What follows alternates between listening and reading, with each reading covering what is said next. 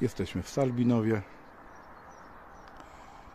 Zobaczymy jak tutaj wygląda, jak taka polska nadmorska e, malutka miejscowość wygląda w środku i co takiego robią tutaj ludzie i czy są turyści. Jestem w Salbinowie.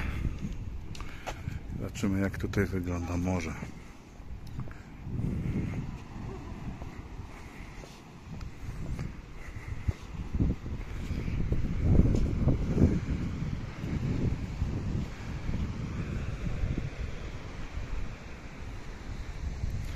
Jak widzimy jest przepięknie, turyści też dopisują.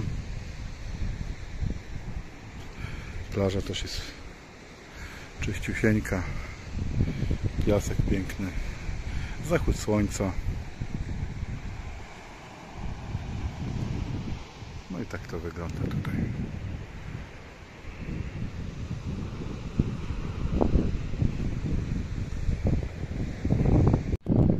No i zobaczcie jaki Salbinowo ma piękny kościółek.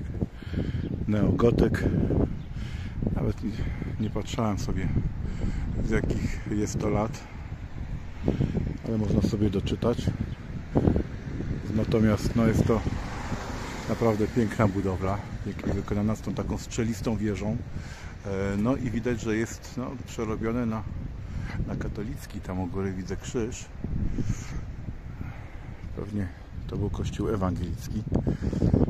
Wszystko by na to wskazywało, łącznie z tym pięknym zegarem,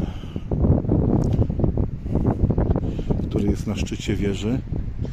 Mógłby to być też jakiś punkt orientacyjny dla żeglarzy, ale też trzeba byłoby to sprawdzić, dlatego że tam są jeszcze jakieś takie właśnie okrągłe otwory.